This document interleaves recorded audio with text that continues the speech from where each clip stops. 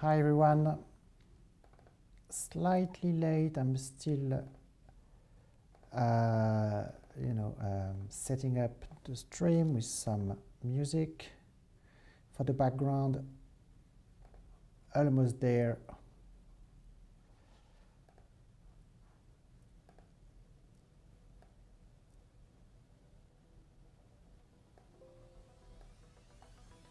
Okay, you should hear it now. Yes. So welcome to this session. And I should, for the end, I should just update the program for today. It's not about computing similarities. I was a bit too hopeful. Uh, we don't have the data uh, to compute similarities yet, but uh, the session of today is exactly about addressing uh, these needs for the data. How do we collect the data we need? So let me just update the stream.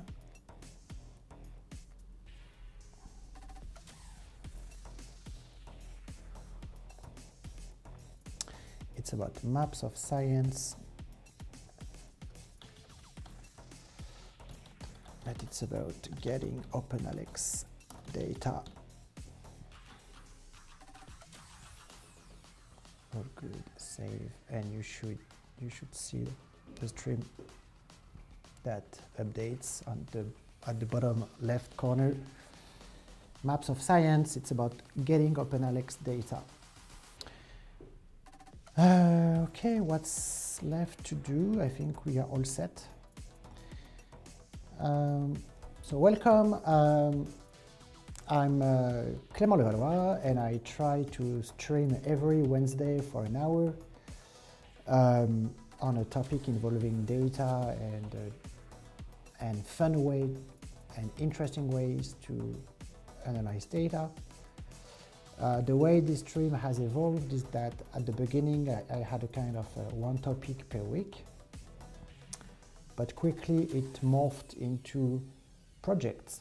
So uh, each uh, Twitch session per week is used to make a small progress on a long-running project.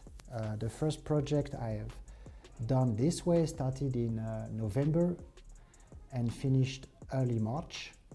Uh, and it was about uh, coding live, a plugin, a free plugin for Gephi. A plugin that is uh, super interesting and well adopted by the community, by the way, where you can explore a network uh, using text mining and not just the logic of the network. So that was done, that was pretty intense, you know, doing that live uh, for just an hour. But that was, you know, it was really, uh, how do you say, uh, rewarding because we have been to the end of it. The next project I've started a couple of weeks ago is about um, designing maps of science.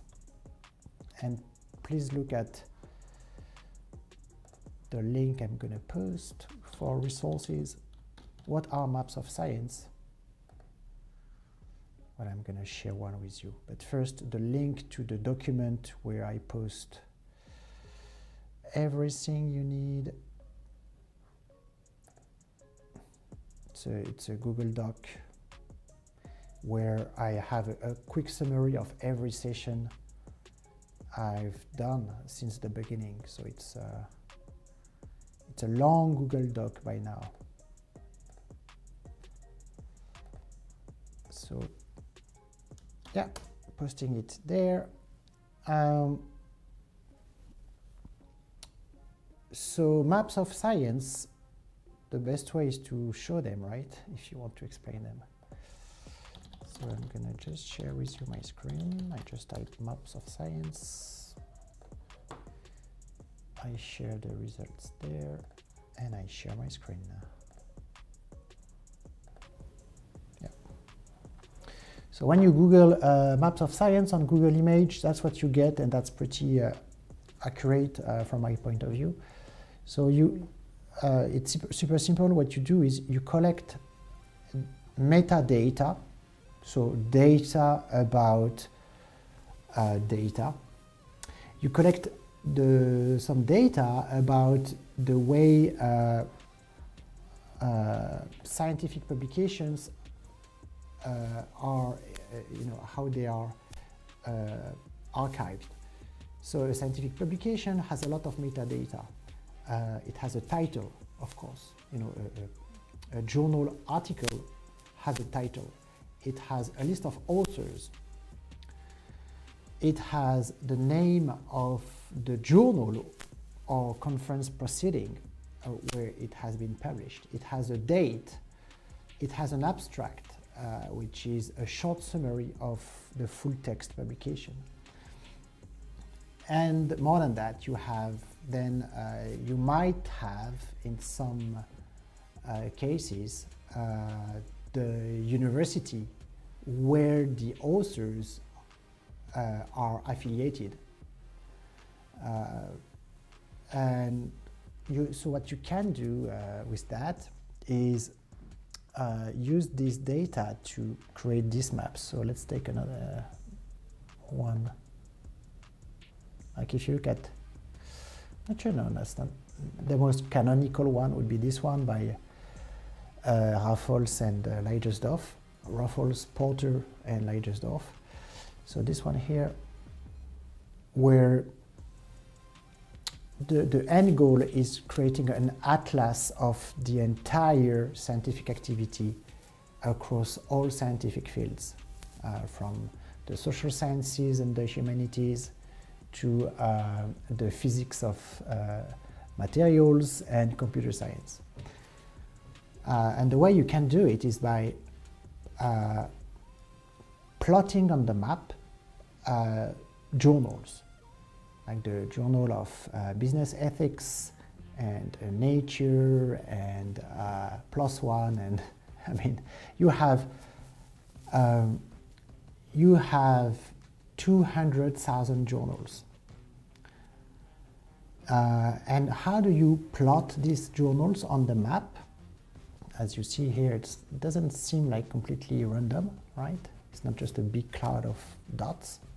Uh, there is a kind of organization as a kind of donut shaped uh, form. Um,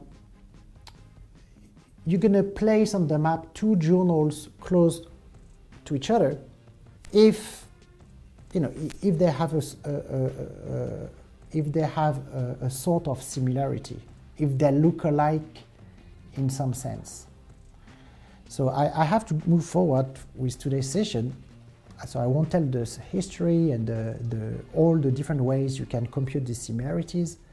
I'm going to tell the one I'm, gonna, I'm working on, which is that two journals should be considered similar if at least one person has published uh, two papers, one in each journal. If you know, if one author has published in the Journal of Business Ethics and Nature, well, they are not completely dissimilar, these two journals. They have something in common. So if you do that for every pair of journals, we should get a map. And there's also, you know, why do we have these maps? And that's another topic, but I should get going. And, uh, and please ask questions on the chat. If, if you really insist, by asking questions on the chat, which I, I never have actually, uh, then I would be super happy to expand on, on what you ask, you know. So, so to do these maps and compute these similarities, uh, one of the first questions that we that we encounter is how do we get this data, you know, about authors and publications and journals? So we are lucky that OpenAlex uh, is a non-for-profit organization that makes this uh, data available for free and I, would like to insist it's we are so lucky thanks to them uh, and they are in existence just for the last two years so it's you know it's an opportunity which is new and exciting um, just trying to zoom in it's oh yeah no come on, it doesn't want to zoom in. Yes, it does here. Okay. Uh, so what you see is a lot of my, uh, you know, personal uh, and prof- uh, or I mean, my professional projects that you see here.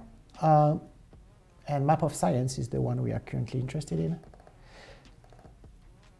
And, and that's the file that I've started uh, writing while doing this stream session. So this file is a long list of methods where my computer retrieves data from OpenAlex. And I, I, I, so if you look at the titles of these functions or methods, you know, get all journals with uh, page paged with cursor, get all authors page with cursors, get all journals from all authors. So these are the different attempts I made uh, in the past weeks.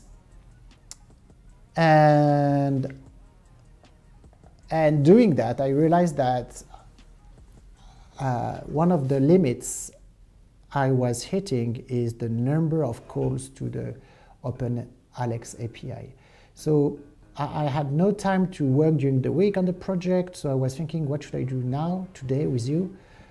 I think that let's spend this hour, or what's left of it, uh, just reasoning about what strategy we should have to get the data we need. So ultimately, how many authors have published in different journals, right?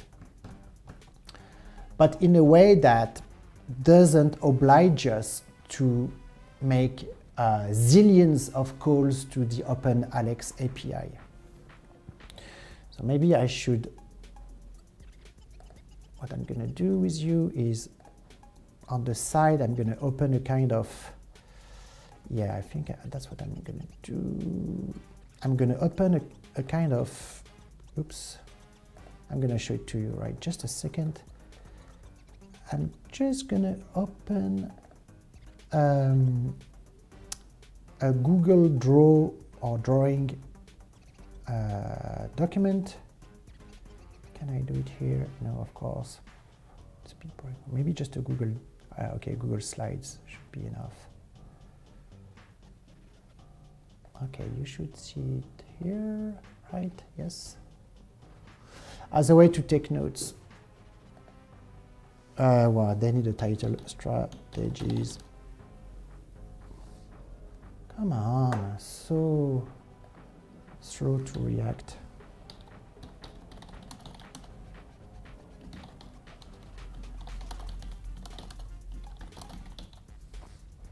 Okay, so that's what's about. Can you still see me? Let me check. Oh no, you can't. So the title was this one, and I just want to use this document as a way to take notes. So OpenAlex uh, has some uh, limits on the number of calls you can uh, you can make to them. So it's maximum of 10 calls per second.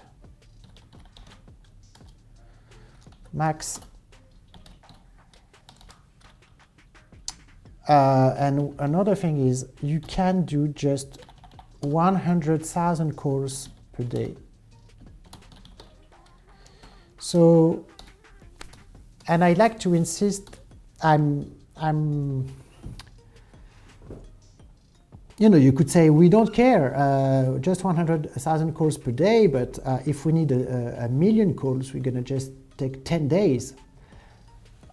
Uh, what I want to do with this project is I want to make it as low access as possible. I don't want to create a project which is good, which is open source and and free to use, that would uh, need you know a month to to uh, replicate just having a call that uh, not a call but a step of data acquisition that takes 10 days I think is a bit discouraging. Uh, by the way, uh, in the same logic, I will, and it's a bit of a hacker spirit here, uh, but as much as I can, I, I will refuse, I, I will, I mean, refrain from using databases, which, which sounds crazy, right? Because if you want to store the data, a database is pretty much uh, what is called for. Uh, but as much as I can, as long or I'm going to try as much as I can uh, using text files as, as a storage uh, facility, just because if you want to replicate it, you don't have the extra step to you know install a database, uh, which you might or not uh, might be or not be comfortable with.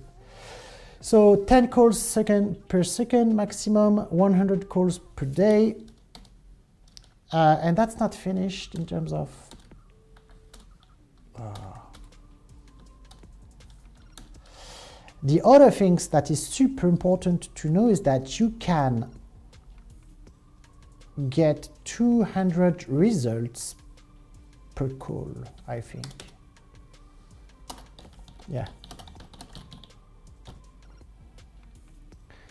What I mean by that is that if you want to get authors, you don't need to have one, you know, to retrieve one author per call. You can just request 200 authors per call. So as you see, we want to make a multiplication here uh, either multiplication yeah multiplication let's let's oh these notes are gonna end up being pretty formal in the end. I'm just gonna do this little thing here. So basically in one day you can retrieve 20 million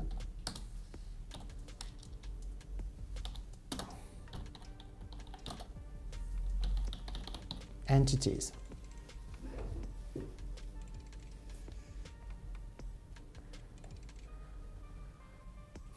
Which starts looking great, right?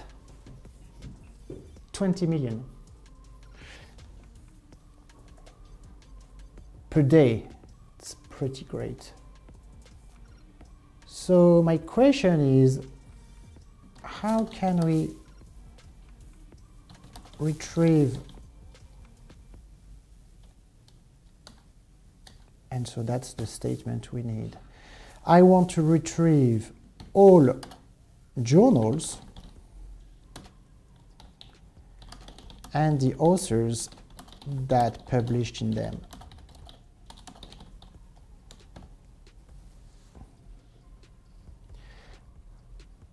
Can I do that within the 20 million entities limit that I have per day? And what I realized during, you know, this, let me show again the code, you know, during this uh, uh, attempts and uh, kind of trials and experiments is that uh, well, I, I realized that I need to just uh, stop and think about which uh, method is going to be. I, I realized that I have several methods to fetch all the journals and the authors that published in them. And I realized that these methods are vastly different in terms of the number of calls I'm going to, each of these methods is going to require. So methods and number of calls.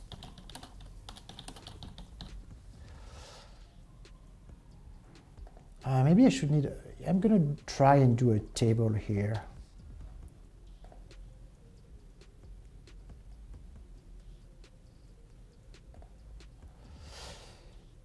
So again, we should, we should, we should just maybe, I should just uh, copy that on top of the table here. We should keep in sight what is it that we tr are trying to achieve, and we are trying to achieve exactly that. We want all journals and and the authors that published in them. Okay. So one way to achieve that is to loop through all journals, no surprise there, and for each of them, so do, can I have, yeah, so it's, first it's a non-starter, uh, it's a non-starter actually, because if I have the list of journals, let me show you the OpenAlex API.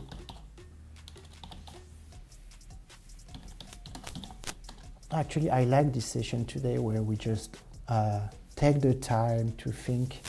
Usually I, I rush and code because, you know, in an hour you can't do much. So I like it, but today is, is, is more quiet. Where is the OpenAlex? There is a nice schema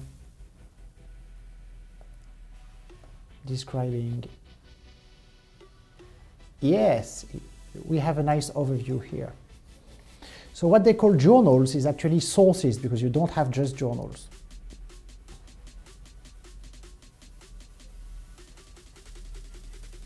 So if I want to go from journals to authors, as you see, it's a long, I mean, it suggests that we're going to have a, long, a lot of a lot of calls to make. So anyway, I think that if we loop through works, that's going to be easier because we're going to get both locations and authorships. Uh, the question is, we have a lot of works. So a work, again, is the general term for uh, published things. You know, uh, they, they used a very generic name because uh, maybe it's not published, it's hosted, you know, so work is a more agnostic, well-chosen term. So if we loop through works, let me write that again. So we won't loop through all journals. As you see, I already discarded that. And for each of them, retrieve the name of the publication and the list of authors. I think that's I think that's where I was last time. I I mean during the week I did have a look at these questions and that's where I was in terms of conclusion, you know.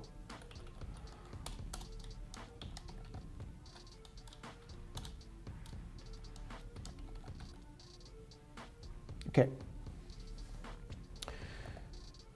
Uh, so by the way, I'm gonna I'm gonna give it a, a name. So it's the logic of the process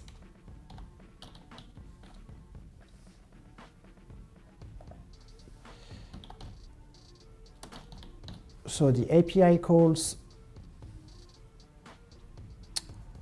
uh, how many how many works do we have? And that's where I can use. So I have written the code already for that.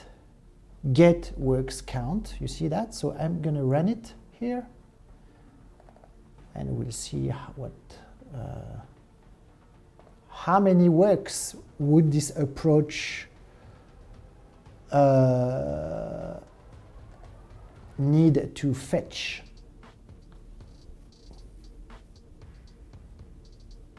So the code is running.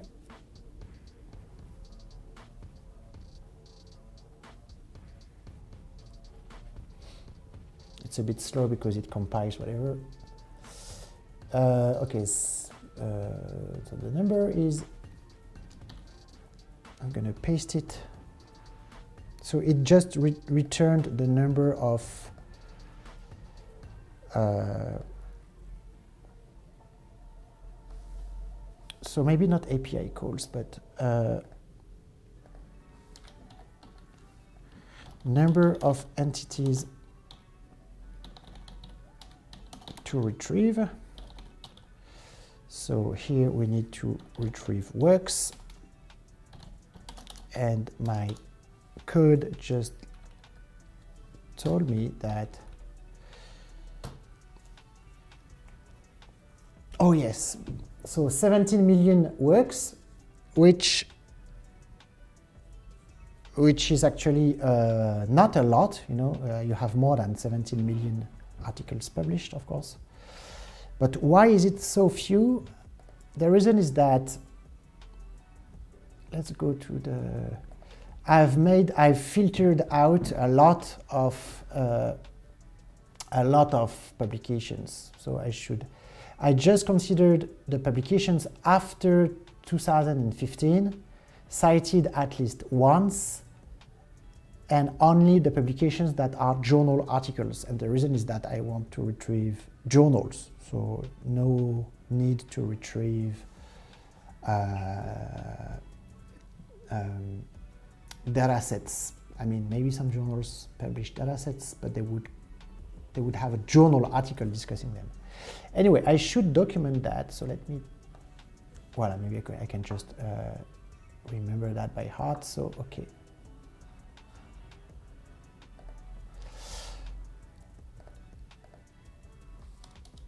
Conditions. Let me check. Do you see what I'm writing? No, you don't.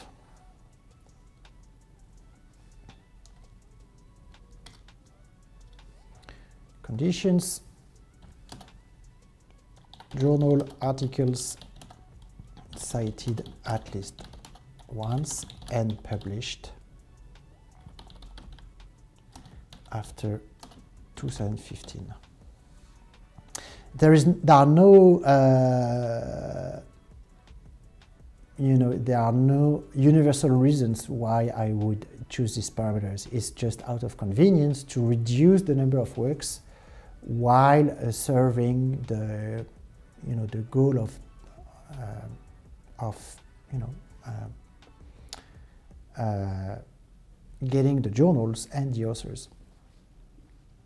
So the the basically I I want to have a recent map, so I don't need to know that two authors have uh, that one author has published in two journals in the 90s um, because that would give me a view of the map of science in the 90s. And I want, at least for this first run, I want to create a map of uh, a recent map. Okay, so the works are 17 million given these conditions. So it's below the 20 million uh, limit per day, so I'm, I'm good. So now the question is, and let's look at the API, can I retrieve for a given work, do I, you know, so uh,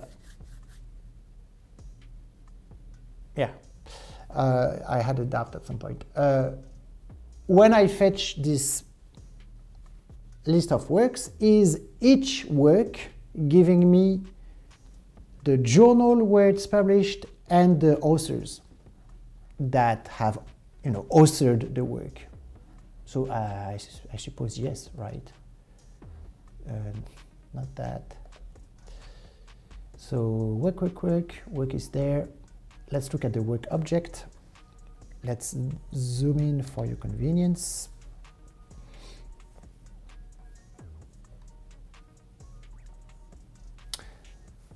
So for each work come a list of authorship objects and an authorship is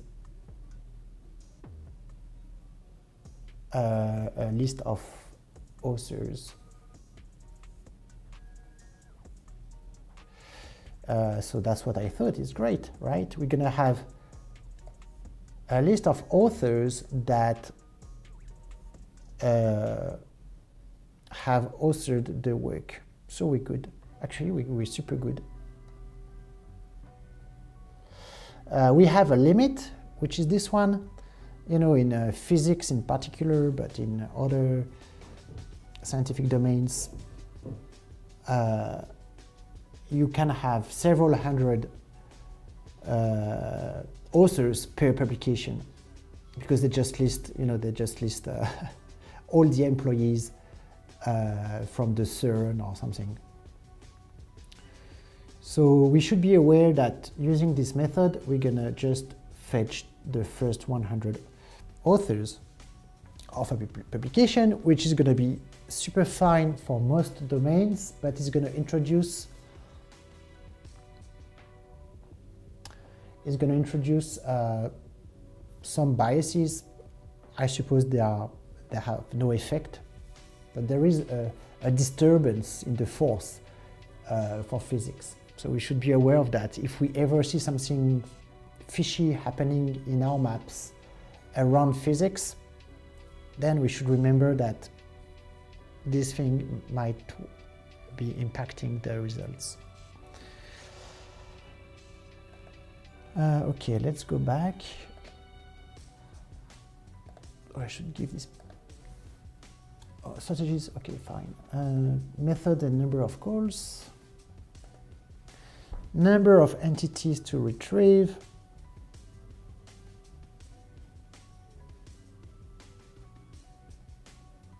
So number of calls.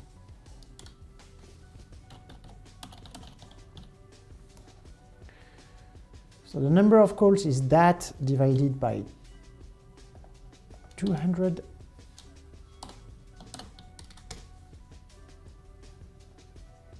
So as you see, we are comfortably, comfortably below the 100,000 uh, limit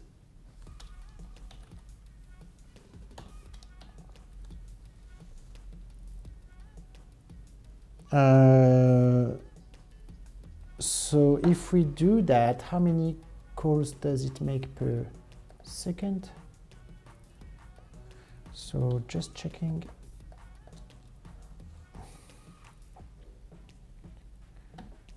So if we do that, uh, we're gonna have minutes.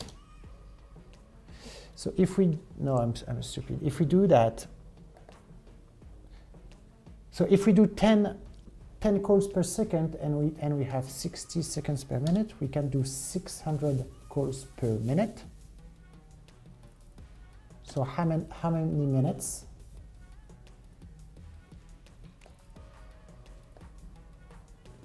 It's a bit more than two hours. So I'm gonna do a slightly more realistic. So 60 seconds times not exactly 10 calls per second because uh, because you have some uh, you know some uh, uh, delays and so maybe just eight calls.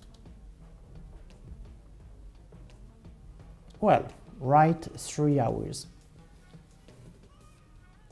So that's really fantastic. Okay, then, great. Uh, and we are not even finished. So I suppose, okay, don't, don't, don't, don't rush.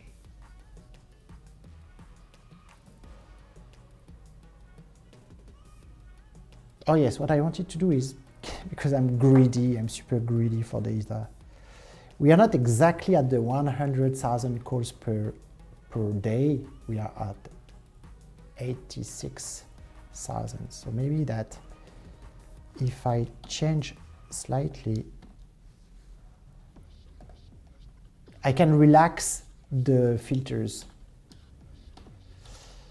Maybe that if I take all the works, but not from, not after 2014, but like,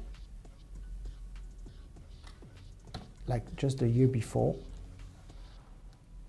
maybe we're gonna be still below. So I'm running it.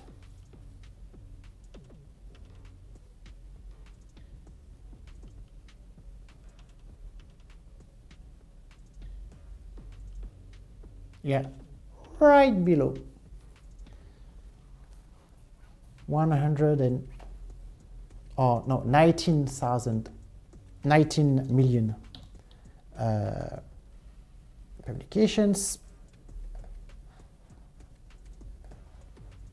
So if you divide that by, if you divide that by 200, I'm like at 89,000. I'm really, okay, so we are below the 100,000 calls. I have even like 2,000 calls in spare. So let's let's let's let's do it. Uh, has anyone any objection or remark on that? Let me check there is any. I won't, I, am too afraid to check on, uh, on Twitch to see if there is anyone connected. Um, I'm going to despair if there is none. Uh, so let's say I'm, I'm doing that for the YouTube replay. Uh, so, so I should stay calm. Um, okay, so let's use this approach that I have just described. We have just made sure that uh, it's within the 100,000 calls per day. And did I already write this approach? I thought so.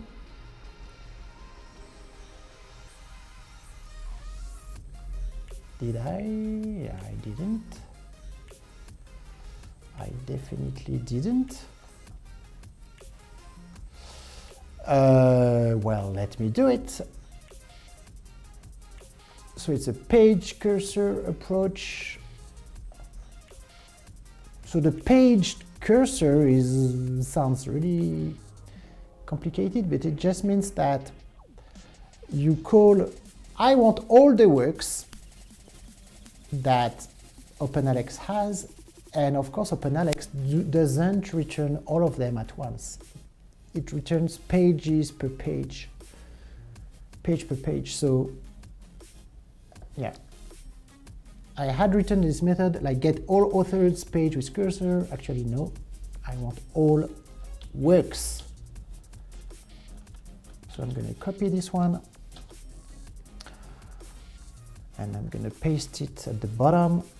I know I should write a class for that uh, in good Java uh, fashion, but laziness is in order here. So get all works, page with cursor, and so total count works, which is, by the way, how much do I have it? Yeah, it's the one I, I just had from here. Oh, I don't need it actually. Uh, I don't need it.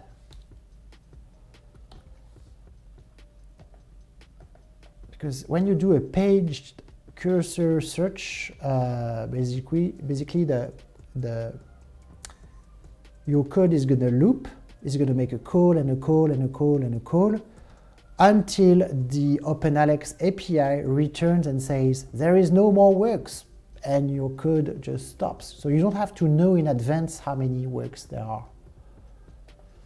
So I don't know why. Yeah, this number of pages, we don't really care.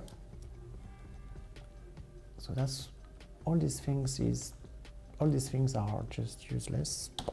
Nice. Cleaner code.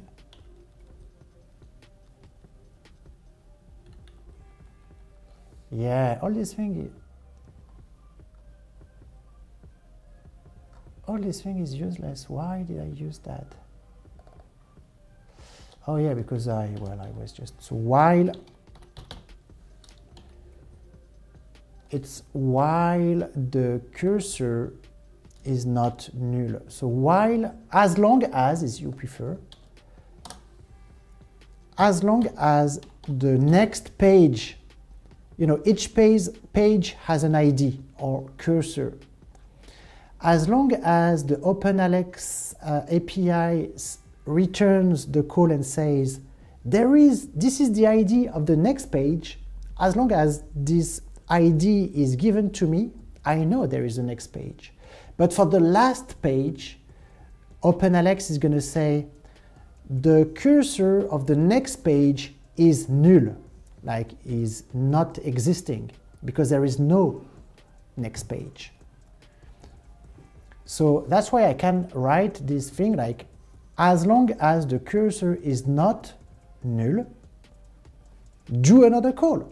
But as soon as the cursor is going to switch to null, uh, this while loop is going to uh, stop and, and the code is going to move on to uh, what is written after this loop. So the filter should be exactly the one.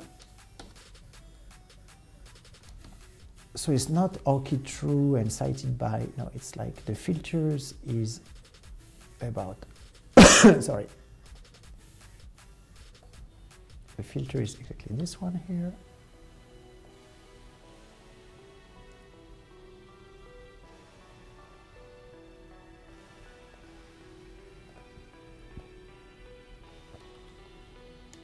Okay, so what do we want?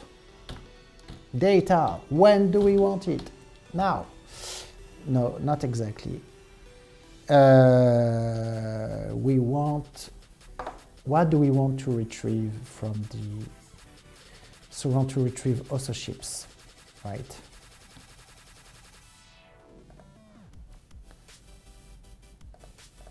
Again, because the OpenAlex API gives you the, this great uh, uh, opportunity to not retrieve everything from works, but only the fields that you are interested in. And in, in this case, I'm interested in authorships and what was the other thing?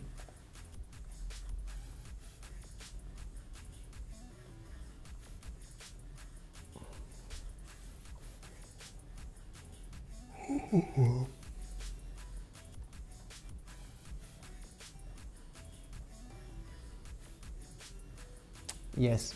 Oh, either I want locations. So locations is this weird thing, but we had seen it together there. Let me show you here. That's quite interesting because some work is, any work is from a source, you know, it has been published in a journal or hosted in a repository.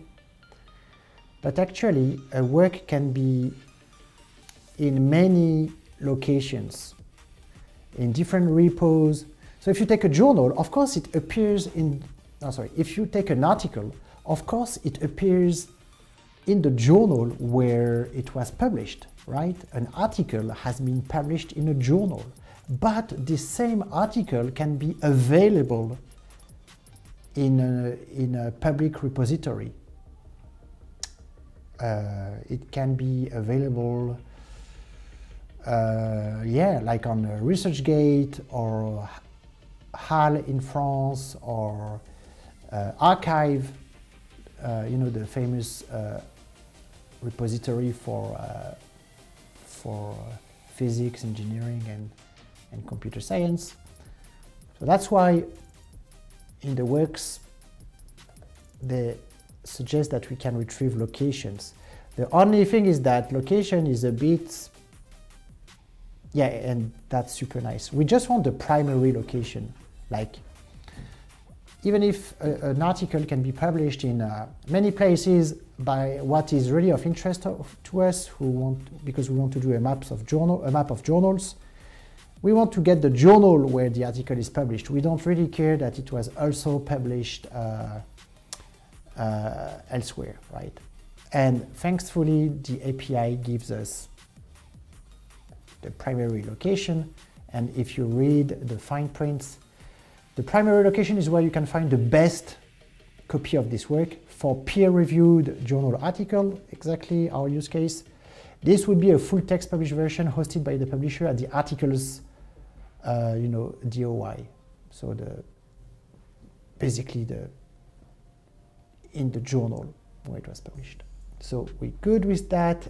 Let's make sure that, yeah, we have the ID, we're gonna collect the ID of the, oh, you don't see it, it's right below. Yeah, we're gonna have the ID of this primary location. That's the name of our, oh, and we have the display name. Oh, fantastic. Fantastic, yeah, great. All in one call. So primary location, and that's it, I suppose, right? We can ditch all the rest. Uh, so if you are interested in the code, it's super simple. So we do a first call, right? Give us, and at the beginning you don't have a cursor, you don't know the name of the page that you want to fetch. So the default value is this asterisk, you know, is a star sign, which is like first page. So give me the first 200, not authors, works. Give me the two first 100 works that were among the works that were published after 2014 that were cited at least once and that are journal articles. And in the response, don't give me the full works uh, description, I just want the place where authorships are described and where the primary location is described. Uh, so yes, I want 200 uh, works at a time, and that's it. So that's what I want. This line is actually, uh, well, this line is, I mean, it's super long. I could just write it in one, one line. So build a request, which is a fancy way. This, and this request is super simple in this case, so there is nothing much information, nothing, there's no new information there. And this is where my code is actually going to send the call over the internet to OpenAlex. So this line, I, I could just show it here. This is the line that does the magic you send the request. And so the request is sent there, like this is the part of the line that sends the request, and the response is stored on the left of the equal sign, the response. So hopefully, you know, if the response is successful, it comes with a status code that is 200. It's a convention for over the over the web. And otherwise, if the response status code is not 200, then, then uh, you know, uh, Houston, we have a problem. And I just say we have a problem. So anyway, in the case when the response is correct and successful, I retrieve the answer that OpenAlex has sent me. I turn this answer into a JSON object, and JSON is simply You know, these are the, you know, this way to show the data with curly brackets and stuff. This is the JSON uh, uh, data format. So um, in, in Java, you, you have you have to instruct, you know, to uh, for your program to take into account these curly brackets and data structure.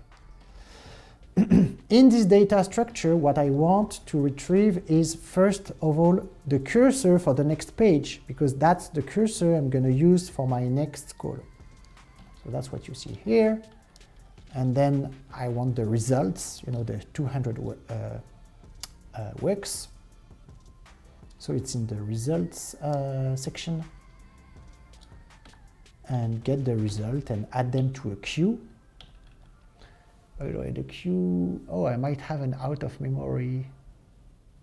I'm gonna definitely have an out of memory issue here. Oh, good to, out of memories means that depending on the, on which computer I run that, but computers don't have infinite memory. So if I just store in memory uh, my my results at some point the computer will say will say no. It, it's going to say i don't have memory left. And the thing is going to crash. So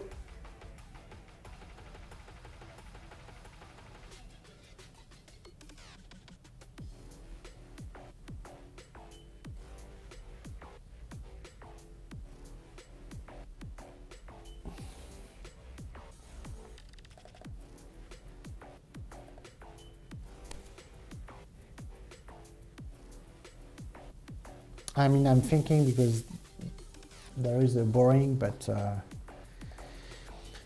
important step where you know I should have two things in parallel. I should have the calls running and getting the works, and in parallel I should have another bit of a program that takes the results as they come, and when the results are kind of voluminous,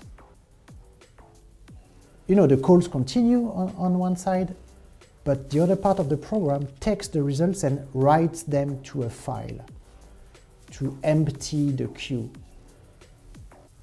And that's always something boring to write. So in this case, ChatGPT can help. So let's use ChatGPT for that. ChatGPT. Uh,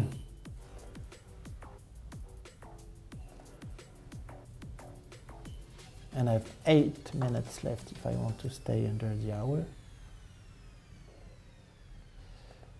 Okay, so uh, in Java, which version of Java do I use? If I use a very recent version, let's 19, that's nice. So I'm asking ChatGPT. In Java 19, I have a, a loop making API calls, fetching JSON results. JSON uh, host calls fetching JSON objects which are stored in a, where do I where do I store my results? In a queue, in a concurrent linked queue. Wow, fancy. I would like to have this concurrent in queue emptied emptied at regular intervals to avoid an out of memory exception.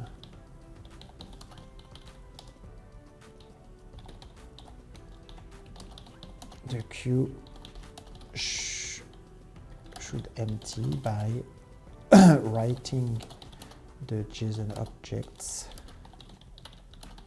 into a are not writing into uh, by appending by append writing. So writing not erasing the content of the file but uh, appending the new results at the end of it into a file using let's using the and, and you know the newest uh, Java API for Java file the NEO API. Can you show me?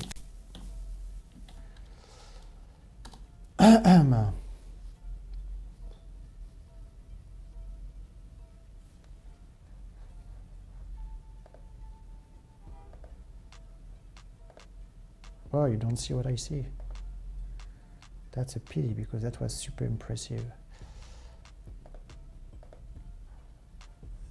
Let me, uh, let me do it for you again because that was mind-blowing. So let me just hide it for a second. Uh,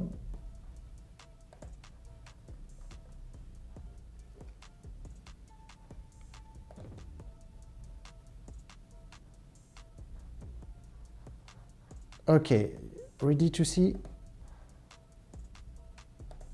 okay so i made this question to to ChatGPT and it just gives me, so I'm not sure it's going to be a, a perfect result, but at least it's going to be pretty, uh, oh, so the, by the way, it's not emptying, it's flushing the correct term. File channel, I didn't know this API, okay, great. Okay, that's, uh, that's, that's what I was thinking. It creates a runnable, yeah, and that's what I hated doing myself. Yes, exactly. Thank you for writing this very boring. Uh, so I'm going to write. Uh, uh, I'm not going to write. I'm to. I'm just copy pasting. So I'm going to create a JSON queue processor class, and even the name is pretty rad. JSON queue processor.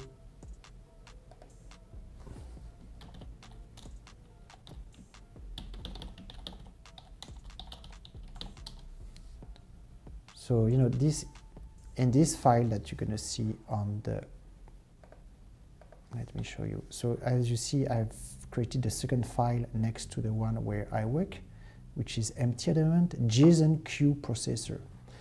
and in this file, I'm just just just gonna copy paste what what ChatGPT has written.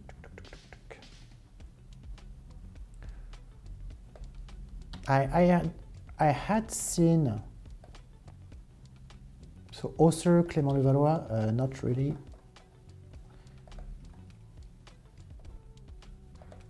so also ChatGPT and Clément Levallois. Hopefully I'm going to have some input there. So what does it do? So the interval should not be five minutes. I'm a bit afraid it will already. It's going to be one minute. Yeah, one minute is is already a lot of data. Uh, one minute should be fine. So file channel, I, I didn't know what a file channel is. Uh, I'm gonna ask ChatGPT, by the way, that's... Uh, well, before asking it, I should finish, uh, finish what I'm doing. so create, write, append, okay,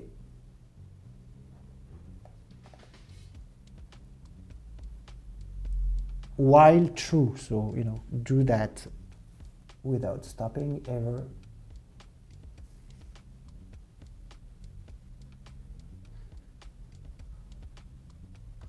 The only thing is that I should be able to stop this thing. So, aha, I have an input. So the machine is not the only one to do stuff here. So while uh, while um, you know while program or while uh, while uh, API calls while the API calls are running so that's a boolean variable a yes no a true false sorry variable and it's uh, true by default. While the API is running, do all of that, but we should be able to send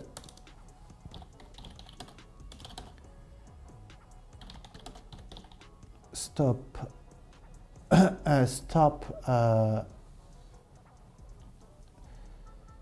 stop to stop this thing, we're gonna just set API call running to false. And when we're gonna do that, it's gonna stop that.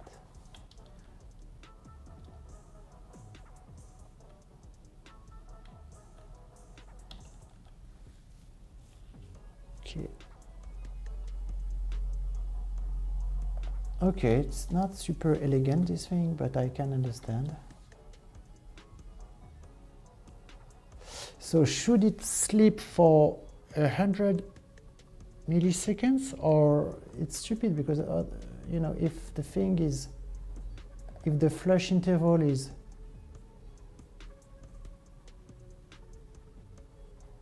wow what this thing false true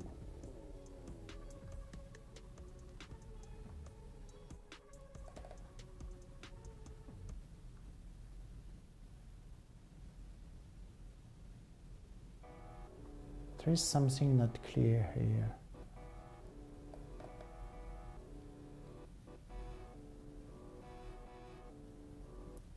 So you run.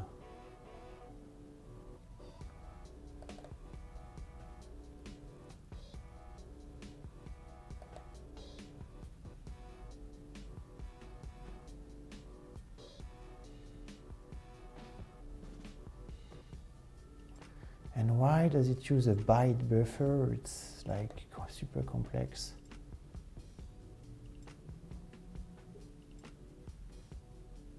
Ah, I think I get it.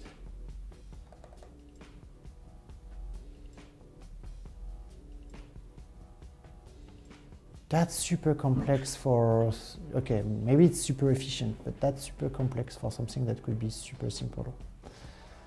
Never mind, we're gonna give it a try in any case. Okay, so this thing is gonna flush the queue and and it should be called uh, with that.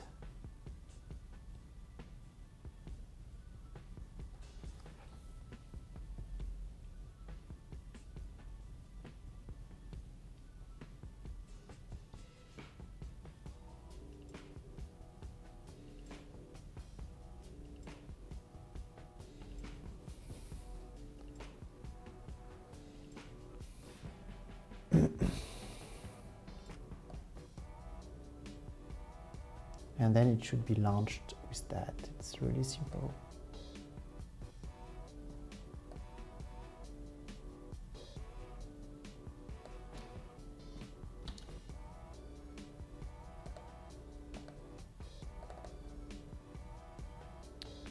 So where is the queue? It's there.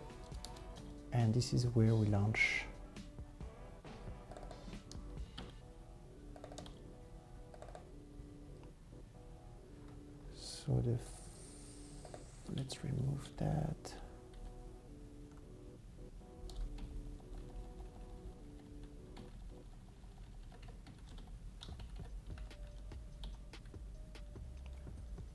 we don't need that anymore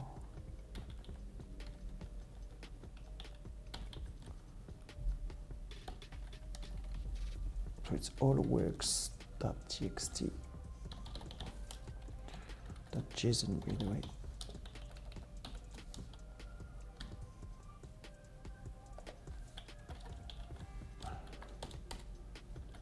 We don't need that.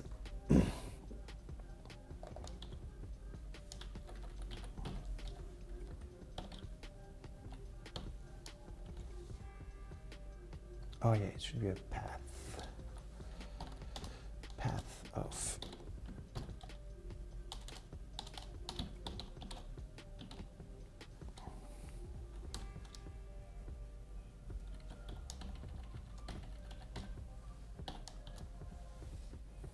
Okay, all good.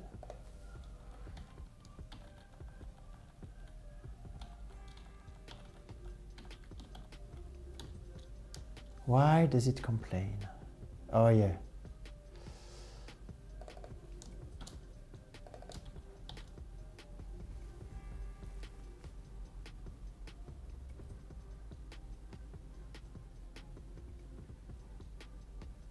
Oh, I see, I see, I see, I see, I see,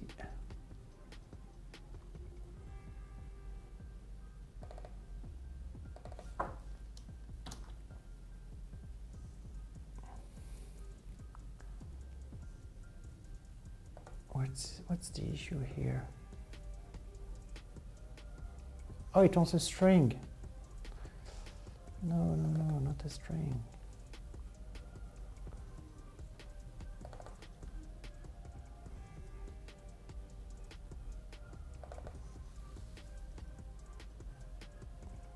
Oh, yeah, okay, I see that. Uh, oof. Okay, let's make it a string then. String.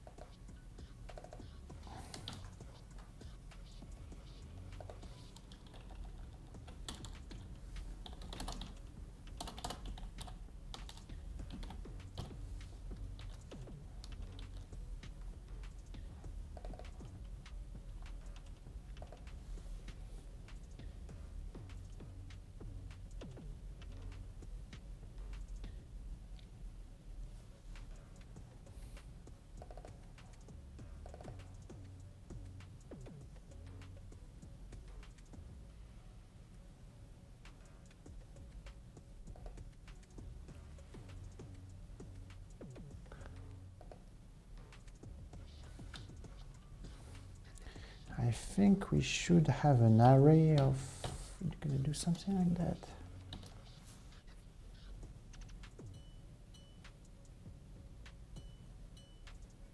Yeah, something like that.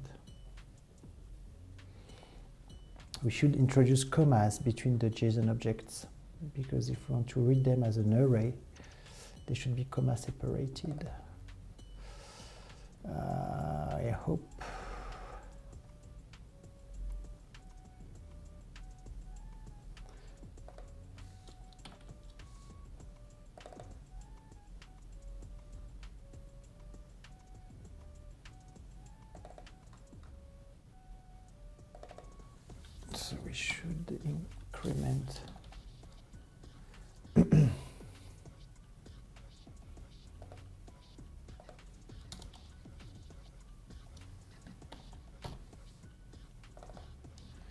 for the test, I'm going to stop it when the courage page index equals 1.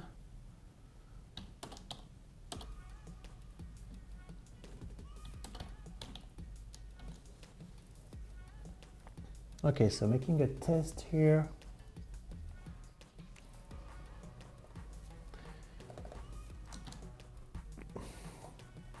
We are past 4 p.m., but I'm a bit curious, you know, how is it going to play out?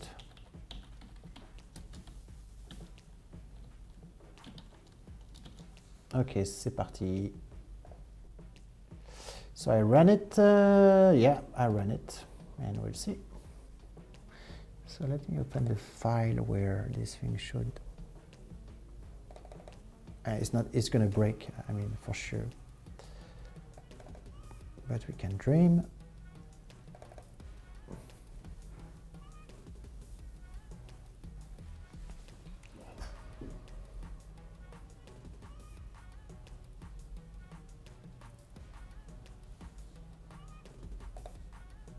Okay, so first thing, it doesn't stop. Right, the program has stopped, but the, the, the program in this, like the method has finished, it has returned, but it has not stopped the, the JSON queue processor has not stopped. Oh, because I didn't call it to finish. Uh, normal, so it's it's as expected, so I should stop it when it's finished. So let's let's redo it again.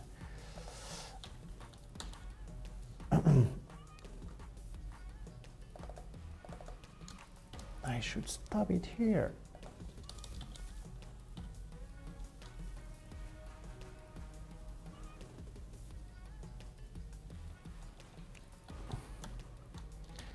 By the way, can I stop it? No.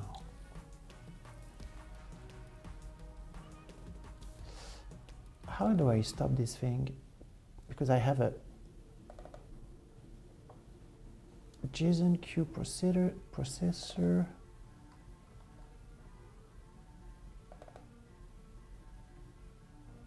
Ah, okay. Sorry, it's processor. processor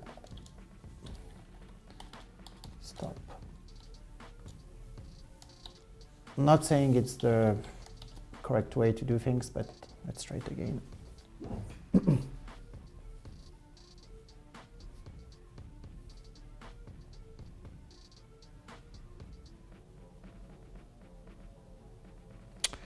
mm, the thread still doesn't stop.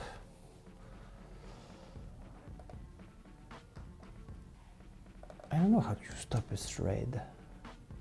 Should be quite simple. Let's try it again. Join means wait for this thread to terminate. No, I don't want it to terminate. I want to terminate it myself.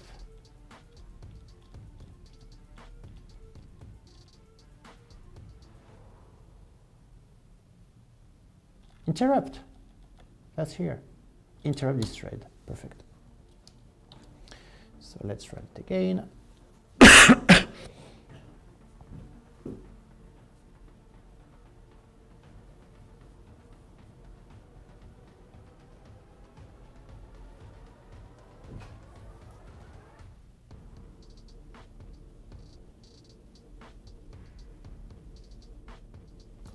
And now the program finishes cleanly. So let's look at the, so this is where the file has been uh, written, all works.json. Oh, it's like, okay, it's a big file and the reason is that, uh, well, it gets a lot of, oh, something is hanging here. Oh, the file is going to be, the file is going to be gigantic yeah, the file is going to be, oh, the file is going to be huge. 17 million works plus all the authors. That's going to be, that's going to be, well, on the server, I, I have gigabytes of, I hope that's fine, but uh, let's have a look at this file. How does it look like? If I have 67 megabytes in just one second, I mean, how big is it going to be? So I'm going to edit it in Vim, which is uh, less memory. Uh.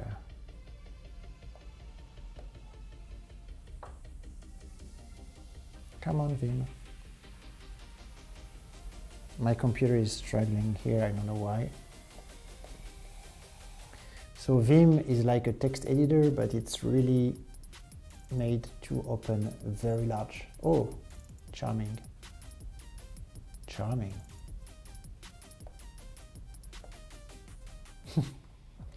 okay, so I suggest we look at that uh, next week. Uh, the, the everything works except for this, obviously, for this uh, writing phase where it has written null uh, like crazy.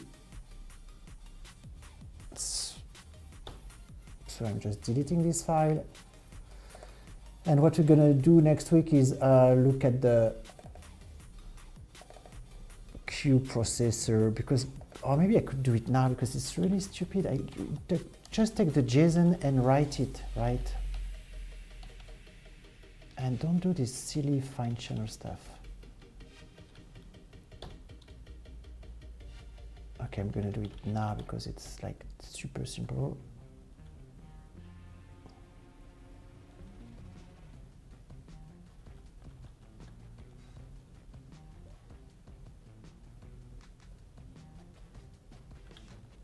Oh, but JSON is never null. Sorry. Oh, sorry, sorry, sorry.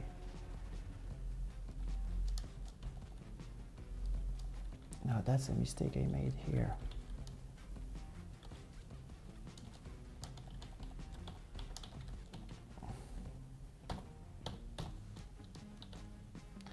Oh, that's why it was writing null. Oh yeah, it's because I just because of that. Actually, it's not. Maybe it's actually uh, the whole thing by ChatGPT, I suppose, was working great. It's just that I introduced a mistake with that.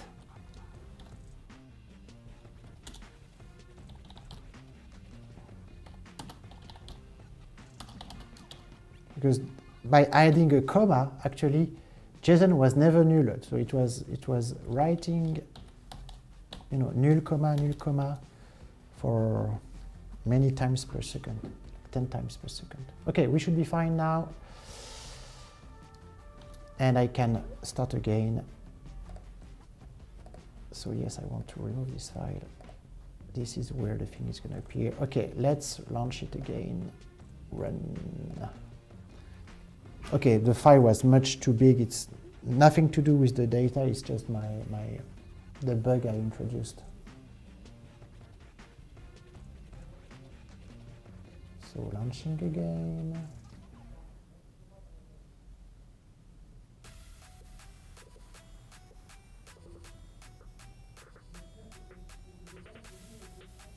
It's finished. We can look at the file. Huh. Much bigger. What's the what's the deal here? My God. Made another, I must have made another mistake.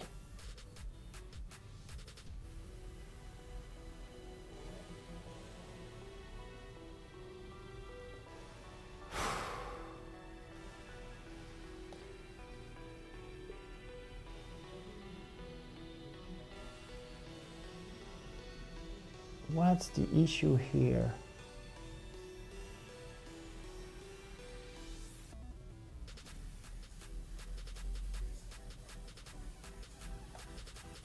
Look at the size of this file. It's like humongous.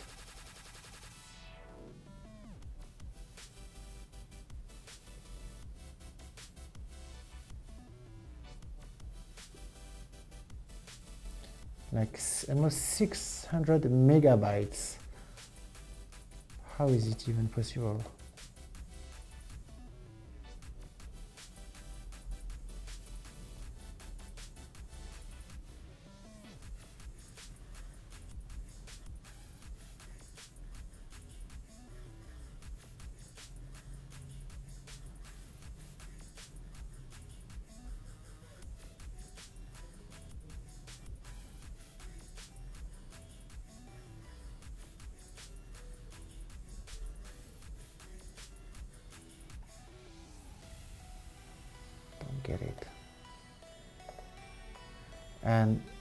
Like to open that with Vim. Why is it taking so long to just open the contextual menu?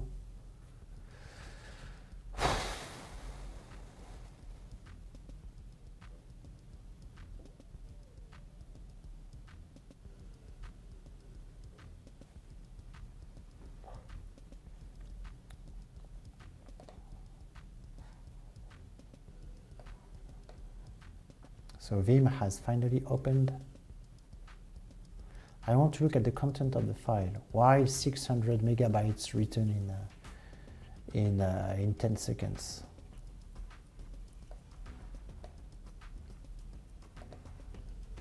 Okay, Vim is hanging.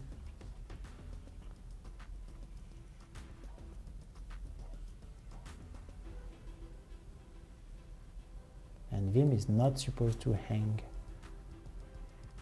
It can open files that are gigabytes large. So 600 megabytes is nothing. And still I see no I see nothing in the content.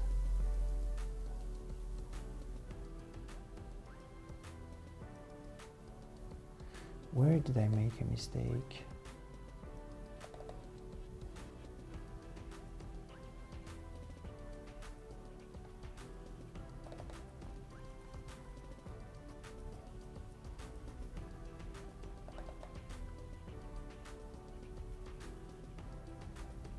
Vim, no, still nothing.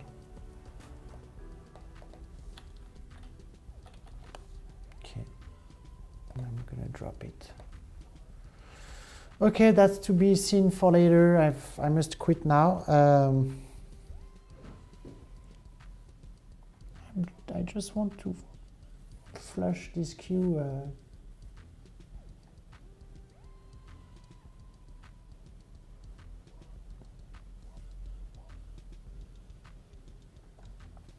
I just want to flush this queue uh, once in a while so that it doesn't uh, overflow the memory. But it's a bit more complicated than it seems. So I'm going to do that uh, another time. Thanks for following. Uh, as you see, it's like um, a long process. Uh, we're going to continue next time, and uh, hopefully we're going to be out, out of the woods soon so that we can concentrate on working on the data instead of uh, spending our time, uh, you know, fetching the data. But that's for, yeah, that's for next week. See you then. Thank you. I'm going to post it on uh, YouTube as a replay.